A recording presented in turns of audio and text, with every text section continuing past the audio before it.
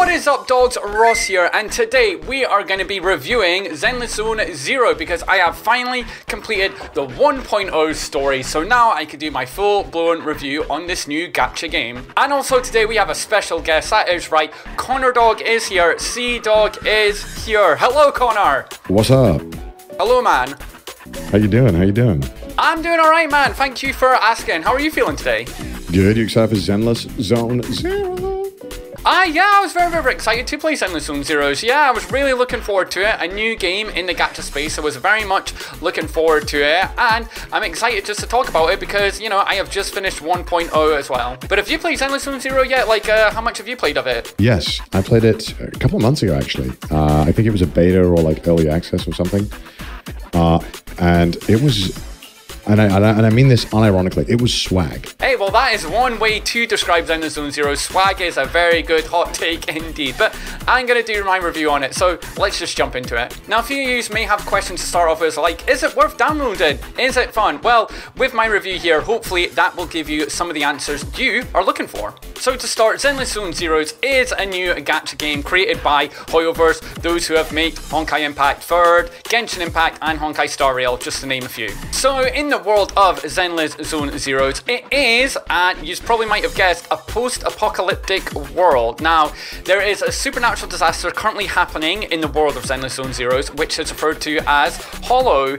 The Hollow is taking over the world right now. The only thing I can compare it to if you've ever played Final Fantasy XIII Lightning Returns, they've got a similar kind of mechanic where the world is getting engulfed by chaos, and inside the chaos, there's these evil creatures that live inside the chaos and start to make their way into the real world as well, which is kind of similar to what is happening in Zenless Zone Zero. But inside these dimensions, there's these evil creatures called the Ethereals. And then that introduces us to the world that we lived in, which is New Eridu, which kind of lives off the resources that you can collect from the Hollows to make some crazy new technology, there's crazy new machines and all that that is getting built from what people salvage from the Hollows. The game then introduces us to the main characters, which we are referred to as proxies. And as a proxy, we take control of these little mascot creatures called Bangboos that helps us traverse the Hollows. And as we go through the game of Zenless Zone Zero, we see these other factions as well. We are part of the Cunning Hares, which consists of Anby, Billy, Nekomata, and Nicole. But we also have the Belobog Heavy Industries, the Criminal Investigation Special Response Team, team. We've also got the Section 6 team as well, the Sons of Calydon, and last but certainly not least, we have the Victoria Housekeeping faction.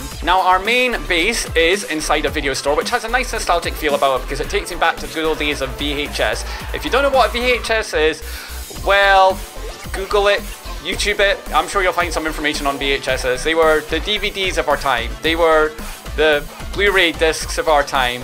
They were the streaming services of our time. Now, one of the pros about this game is it is not open world because I do not have time for another open world game where I have to explore to get items. This one is all very enclosed little places. You've got your domains that you do, you've got your weeklies that you do. You don't need to do any exploration really, so that is a huge plus. Now, with it being a gacha game, there is also a gacha system, and it just is the same as every other Hoyoverse game. You've got your limited banner, you've got your standard banner, and you've got your weapon banner. But also there is the Bangboo banner as well. And similar to most of them, it is, I think, roughly about 90 pulls for hard pity, and you can lose your 50-50 or win your 50-50. So they ain't breaking the gacha system, it's the same one you're always used to, to all this time. Now I want to talk about the battle system. I did enjoy the battle system a lot. It was similar to Honkai Impact Third, so from what I've been feeling so far, it's similar to Honkai Impact Third slash Wuthering Waves. It's got that fast pace. You've got to block at the right time if you want to, and you also have to dodge at the right time too. So there is some timing involved in this game, but I think you get a very, you know, you're quite satisfied once you can parry at the right time and once you can learn to block at the right time. I think it's very satisfying once you can pull off a good parry and a good dodge as well. Now, a lot of complaint I did see from the start was a lot of people said uh, the enemies are don't really do anything from what it feels like, uh, it felt like, yes, I agree, the start enemies don't really do much. I think at the start, they're all tutorial enemies and they don't really do too much. I've seen a lot of people just saying it's a button masher, you don't even need to look at the game when you're playing, but once you reach the end game content, which I am at, you do have to kind of start taking notices of when to parry, when to dodge at the right time, because it does get a bit stronger. But then again, I haven't got the greatest build yet, so maybe it might switch back to the other way once my builds are the way I want them to be. Now during the story as well, while you're doing your missions, you can choose normal mode or challenge mode. From what I've seen, well what I've done, it feels like challenge mode is just the same but the enemies just have more HP, they just become damage sponges, and you don't get any extra like rewards when you do challenge mode. So personally, there isn't really too much of a reason to do challenge mode. There is a hard mode that does unlock later on, so you can redo the story, but there's a hard mode version of it, and you do get extra rewards from that. But when it comes to challenge mode, there's just no real reason to do it. Now during the story it does split between just like kind of comic book style, which I love by the way, I love the comic book styles on it. The only thing I wish they would do is while you're watching those cutscenes of the comic books, there was a way to hide the text boxes, so you would just get a nice clean screenshot of that comic book page Unfortunately, they haven't done that yet. Maybe that is something they'll implement later on. And also, we've got the kind of cutscenes where it's just your characters are on screen that just face the camera and talk. If you've played Honkai Impact Third, you know what I'm talking about. And the characters are really great. Like, there's some really good characters in here. There's like a big bear, Ben Bigger, who is such a sweetheart. He's a big bear, Mr. Bear. We love Mr. Bear here. And Billy's a great character as well. I think the closest person to compare him to is probably like your Deadpool character. He is very outlandish, he is crazy, and he loves his guns. You've got Nikomai, because of course you've got to have a cat girl character in your gacha games, don't you? We got Nicole, who's got a big personality. We've got Grace, who's got an even bigger personality. And we have got a character who is not yet released, but I am saving up for her, Yanagi. And she's got a very, very, very big personality indeed. And of course, the first limited character, which is Ellen, which is a Sharko, which is pretty cool. I have skipped her though, but her story was really good fun. She loves candy, by the way, guys. If you got some candy, give some candy to Ellen. so overall, the cast of characters has been pretty good, and I can't wait to see what ones come down the line later on. But then we have the in-game cutscenes, which, my god, I just want to, you know, just applaud the animation teams for such an incredible job. I have never seen such expressionist expressionist is that even a word um animations before in a while. Like, the only way I can describe them is like you're kind of early Pixar Disney type of things. There is a technique they do use a lot in animation, which is called squash and stretch, which is just to express your characters even more. So you'll notice a lot that characters will like, you know, they'll their bodies will squash, but then they'll overextend as well. They'll stretch out just to give it more of an expression, which I love, by the way. And Billy from most of the cutscenes, it's always the most over squashed and scratched character that there is. I would just love if there was more cutscenes like that, but I can imagine cutscenes like that take quite a while to animate, so that's why they are very far and few between. But my god, when you get to watch them, it is a marvel to watch. The only issue with them is now, though, they make Genshin Impact and Honkai Star Rail just look stiff as a freaking board. So I don't know if down the line, both Honkai Star Rail and Genshin are going to implement that type of animation later on. But it just makes them seem just not as animated now. So it kind of just feels like Huh. Also, a quick side note bonus for PC players, there is unlimited FPS. So if you've got a really good PC, then thumbs up to you. You can have unlimited FPS on this game. Next, I want to talk about the music, and my god, HOYO-MiX have knocked it out of the park. Like, I think this is some of the most funky music I have heard from their production in a while. Like, some of the songs are just ridiculous. The boss battle musics that there is, even just the domain musics are great. Like even just the town music, it's just nice, chill music. I get Persona vibes from it. I also get like Jet Set Radio Future vibes from it as well. Like the music has been like it's definitely one of the top points of it. The animations and the cutscenes and the music, it's like they're the top one and two of this game easily by far. And I also want to say the voice actors did an amazing job on this. A rare English voice actor W in this one because some gacha games when it comes to English voice acting has um, some of it can be quite questionable, if I can say. Some are really amazing. There's a lot of voice actors there doing an amazing job, but there are times where you're just like, were they even told what's actually happening in this scene or what kind of direction they were given. But I will say for Zenless Zone Zeroes, the voice acting has been great. Like, there's been some really good funny parts in it that I have, you know, while I'm playing it, I do laugh and giggle as well at the same time while I'm watching them. So I will say the voice actors in Zenless Zone Zeroes have done an amazing job. Also, I want to talk about the character designs as well. I know a lot of people uh, had mixed feelings about them, saying they're very bland, there's nothing really too much going on with them. I gotta say though, I actually do like the character designs. There's a lot of good character designs that, you know, I have enjoyed. And, you know, you get to go as a freaking bear. There's a bloody bear in this game, a Mr. Bear. And who doesn't want to be a bear? You also get to have a kind of relationship value with these characters. I've only kind of dabbled in the relationship stuff so far. The kind of, I know we get hangout events in Genshin and that, but this one is you've got to as well similar just make sure that they like you even more so you've got to make sure you answer them correctly so they like you that'll unlock new stuff i haven't got anybody to max yet so i don't know what happens if you get them to max do you go out on a date with them? Do you get a fun cutscene with them? I don't know. I still yet to figure that out yet. I've still yet to do all that. So that stuff, yeah, I'm still in the dark about. Oh, and another note, guys. You actually finally get to pet a cat in here. Not just a little text box that says, you petted the cat. You actually do have a full-blown animation where you stroke that cat. I could have said another word there, but I decided not to.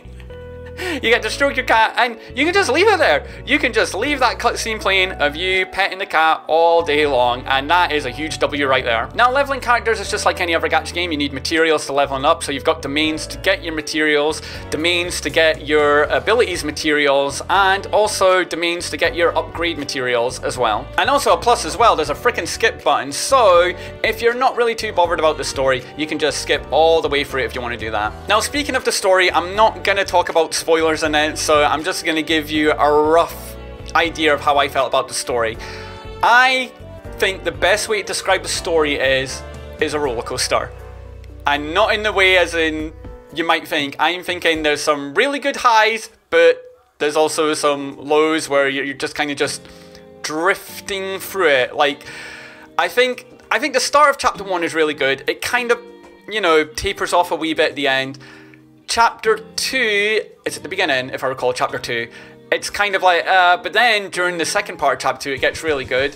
And then again, near the end, it kind of like falls off a wee bit. But then chapter 3, when you finally get to go to the housekeeping bit, then it goes back up. And I think they've left on a high for 1.0. So I will say the story overall it can be a drag for some, but I think it is worth it to enjoy it and enjoy the characters that you see along the way. And I am excited to see what they do for the story in 1.0. So, if it kind of continues the way it's going, from what I've said so far, it's going to go down, but I just hope it still stays up at the start because they've got to keep me invested. That is their one issue of it, but I think they'll do a good job. I think, I hope, fingers crossed, they're going to get it right. Now, I'm going to talk about the cons on this game, and I think if you've played Zenless Zone Zeroes, I think you know what the con is going to be.